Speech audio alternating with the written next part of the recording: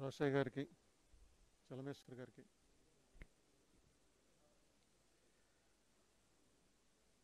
సమావేశానికి విచ్చేసిన రాజశేఖర్ రెడ్డి గారి అభిమానులకి అందరికీ నమస్కారం. నేను ఎందుకు ఈ పుస్తకం రాశానో అది పుస్తకంలోనే ఉంది. కాసేపట్లో ఆ పుస్తకం ఎలా మీ చేతుల్లోకి వస్తుంది. అయితే ఇది చాలా కాలం నుంచి అనుకుని అనుకుని అనుకుని. ఎందుకంటే ఏమి రాయాలి ఏమి రాయకూడదు. రాయకూడదు అన్నది ఆయనకేదో డ్యామేజ్ అవుతుందని కాదు.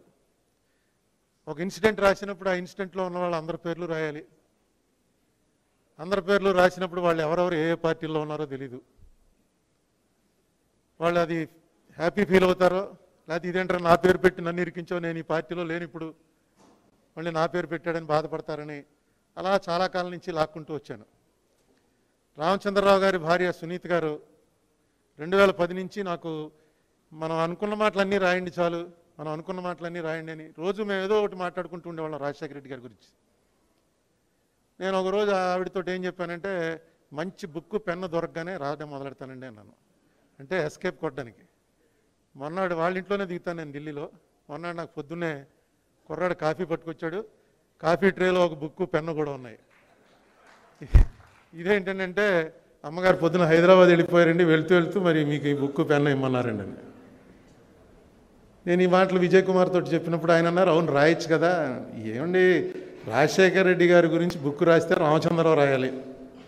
ఎందుకంటే రాజశేఖర రెడ్డి గారే స్వయంగా చెప్పాడు నా ఆత్మ రాజశేఖర రామచంద్రరావు అని. ఆయనకి జనాలకి తెలియనటువంటి ఏమన్నా ఆయనకి తెలిసి ఉండొచ్చు. మిగతాది రాజశేఖర రెడ్డి లైఫ్ అంతా ఓపెన్ బుక్.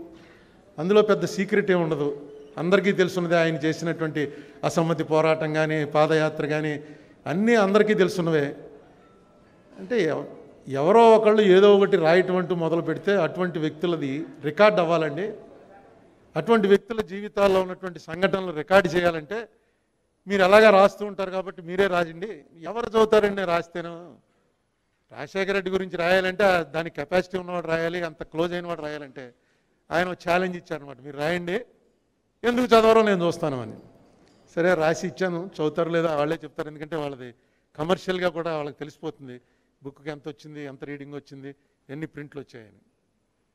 ఇది పూర్తిగా లైటర్ వీన్లో రాసినటువంటి బుక్ ఇందులో రాజశేఖర రెడ్డి గారిని ఒక గొప్ప దైవ సమానుడైనటువంటి ఆవిష్కరణ చేసేటువంటి ప్రయత్నం నేను చేయలేదు. రాజశేఖర రెడ్డి గారికి తోటి నాకు ఎందుకంటే నేను రా నాలాంటి వాళ్ళు రాజశేఖర రెడ్డి గారి జీవితంలో కొన్ని వేల మంది ఉంటారు. నేను కార్యకర్తని ఆయన పార్టీ ప్రెసిడెంట్. అప్పుడు మా పరిచయం. ఎనభై మూడు నాటికే ఆయన ఏపీసీసీ ప్రెసిడెంట్. నేను రాజమండ్రిలో ఒక చిన్న కార్యకర్తని.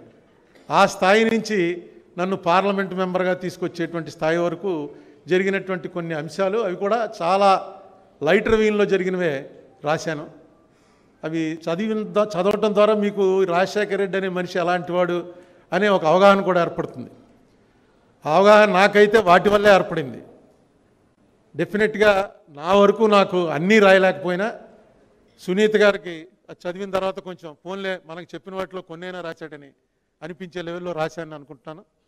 పుస్తకం చదివాక అది మీకే అర్థమవుతుంది. ఈవేళ రోషయ్య గారు సంతోషంగా అంగీకరించి రాజశేఖర రెడ్డి మీద బుక్ రాశానండి రావాలనగానే సంతోషంగా అంగీకరించి ఈవేళ వచ్చి ఈ సభని ఇంత గ్రేస్ చేసేందుకు ఈవేళ సాయంత్రం ఆయన వచ్చారు. అలాగే చలమేశ్వర్ గారు వాళ్ళ ఊరు వెళ్ళి ఆయన్ని పిలిచినప్పుడు నేను కూడా తప్పకుండా వస్తాను. ఆ రోజుకి ఇంకా డేట్ కూడా ఫిక్స్ అవ్వాలి. మీరు ట్వంటీ ఫోర్ అవర్స్ ముందు నాకు చెప్పినట్టయితే నేను కూడా తప్పకుండా వస్తానని చెప్పారు. అలాగే విజయ్ కుమార్ గారు కూడా అంతా అసలు ఫైనలైజ్ చేసిందంతా లాస్ట్ త్రీ డేస్లోనే. నేను రాసినవి ఎప్పుడెప్పుడో రఫ్లు ఉన్నాయి కానీ ఫైనలైజ్ చేసి లాస్ట్ త్రీ డేస్లో ఏ ఉంచాలి ఏవి తీసేయాలని చంద్రశేఖర్ రెడ్డి గారితో కూర్చుని చంద్రశేఖర్ రెడ్డి గారు అంటే ఎంఎస్కో ఎడిటర్ గారు. మేమంతా కూర్చుని తయారు చేసాం ఒక చిన్న ప్రయత్నం ఆశీర్వదించడానికి ఎంతమంది వచ్చారు అందరికీ ధన్యవాదాలు. Please subscribe to I media channel and click the bell icon for more notifications